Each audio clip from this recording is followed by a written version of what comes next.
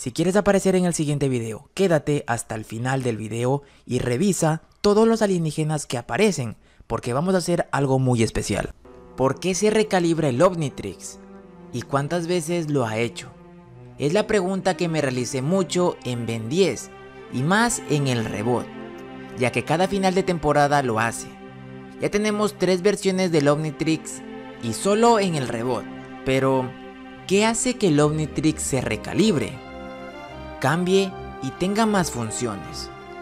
Una de las cosas que puede hacer posible esto es la recalibración manual, como se ha visto en el Rebot cuando Ultra T forzó una actualización en el final de la primera temporada. La segunda es más natural, sería la recalibración automática, como pasó en el inicio de Ben 10 Alien Force.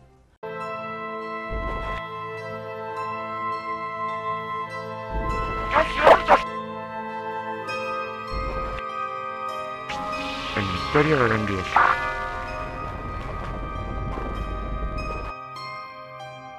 Hola muy buenas a todos, yo soy Frío y bienvenidos a un nuevo video. ¿Por qué se recalibra el Omnitrix y cuántas veces lo ha hecho? Es el tema que trataremos ahora. Hay dos maneras en el que el Omnitrix se recalibre y o un actualice. Una de ellas es la automática y otra es la manual. En este momento recordaremos la versión automática. En el inicio de Ben 10 Alien Force podemos ver que Ben ya no conserva el Omnitrix en su muñeca. Dejó de usarlo para llevar una vida normal, luego de que la paz volvió a la Tierra. Aproximadamente pasaron unos 5 años luego de ese suceso. Ben decidió volver a usar el Omnitrix para encontrar a su abuelo, pero se llevó una gran sorpresa al no poder transformarse. El Omnitrix ahora posee un color azul en su interior que no le permite hacer nada a Ben. Luego de una gran espera, el Omnitrix sufre un gran cambio, cambiando su forma y con ellos sus alienígenas. La escena termina con Ben transformándose en fuego pantanoso y venciendo a Kevin. Y bueno, en realidad tengo una teoría de que por qué el Omnitrix se recalibra, basada en este último suceso. Asmod probablemente había estado enviando actualizaciones a lo largo de los años, pero el Omnitrix no las estaba recibiendo porque estaba inactivo. Así que una vez que Ben comenzó a usarlo de nuevo, se reinició o se recalibró y se puso al día con todas las actualizaciones que perdió a lo largo de los años. En Ben 10 nunca se dio una explicación clara del por qué el Omnitrix se recalibra, pero la sencilla explicación es que el Omnitrix recibe actualizaciones cada cierto tiempo, como si se tratase de un sistema operativo de tu computadora. Pero Ben tuvo mucha suerte con todo esto, ya que su actualización solo duró de 10 a 15 minutos y no 15 horas como otros sistemas operativos. Ahora ya sabemos que existen dos maneras de actualizar o recalibrar el Omnitrix y me gustaría presentarles las veces que el Omnitrix se recalibró a lo largo de Ben 10. Número 1.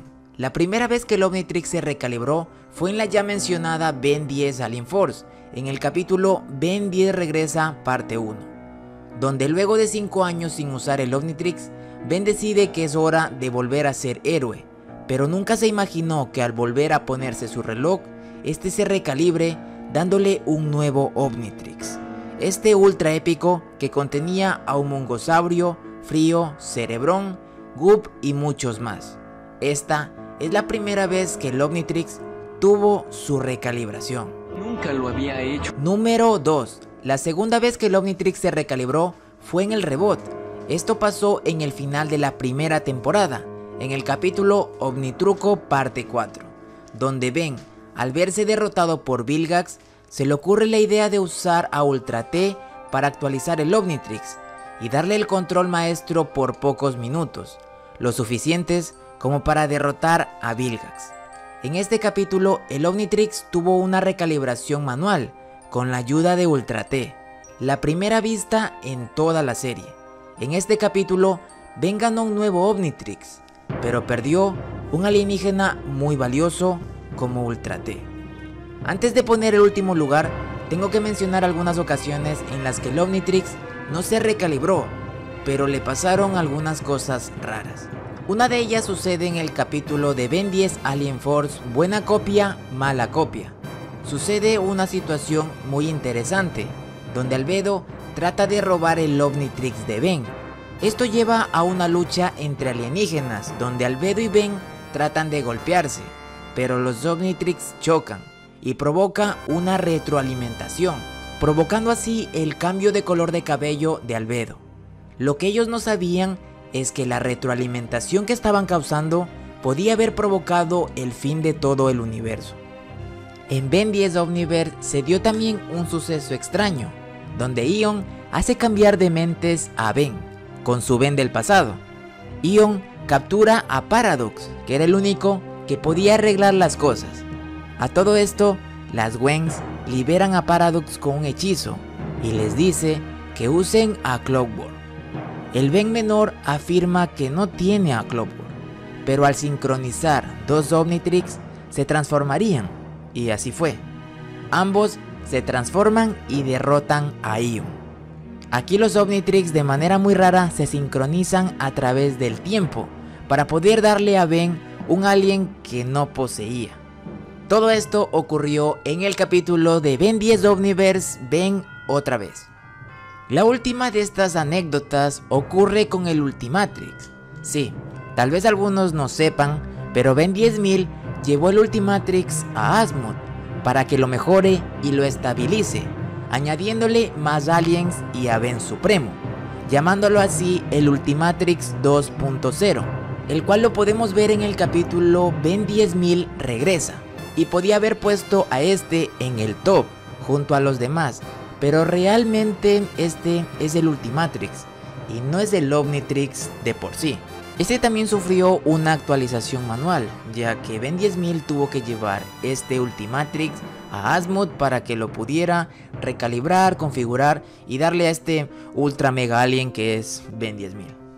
Aunque realmente no sé por qué le digo alien, porque Ben Supremo no lo consideraría un alienígena. Mm, un tema bastante interesante que podría tocarlo en otro video si ustedes lo quisieran. Eso sí, no olviden darle like a este video para saber que si quieren saber qué realmente es Ben 10000 y cómo es que tiene una transformación suprema que recopila a todos los alienígenas, incluyendo supremos. Estaría un tema bastante interesante para un próximo video.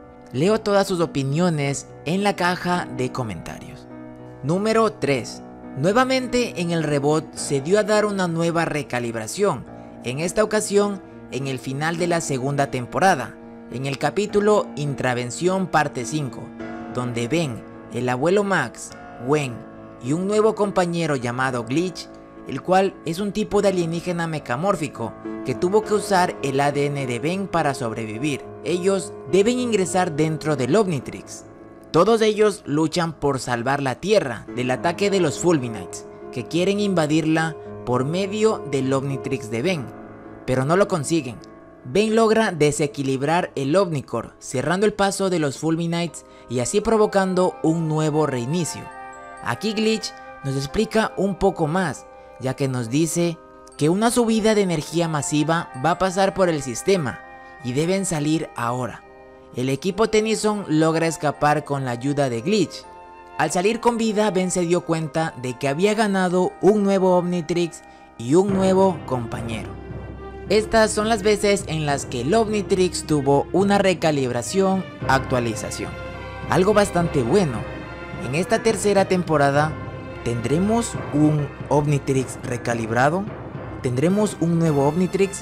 Aún no lo sabemos, pero yo espero que sea así. Un nuevo Omnitrix al final de la tercera temporada reanimaría mucho más de lo que ya está la serie reanimada. Está bastante cargada, pero creo que nuevos alienígenas y estos posibles eh, los trajes del Omnikix que son como armaduras que están bastante chulos serían algo sumamente bueno. Y quién sabe, tal vez, si no se da en el final de esta tercera temporada esta recalibración, puede que la siguiente sea una actualización manual nuevamente porque sabemos que Ben obtendrá el Omnikix de alguna manera para mejorar su propio Omnitrix. Pero bueno, eso es tema para otro video. Que esperaré hacerlo cuando se termine oficialmente la tercera temporada y les pueda traer una review y todas las cosas super épicas como lo hago en el final de las temporadas. Por mi parte, ha sido todo. Yo soy Frío y conmigo será hasta la próxima. Adiós.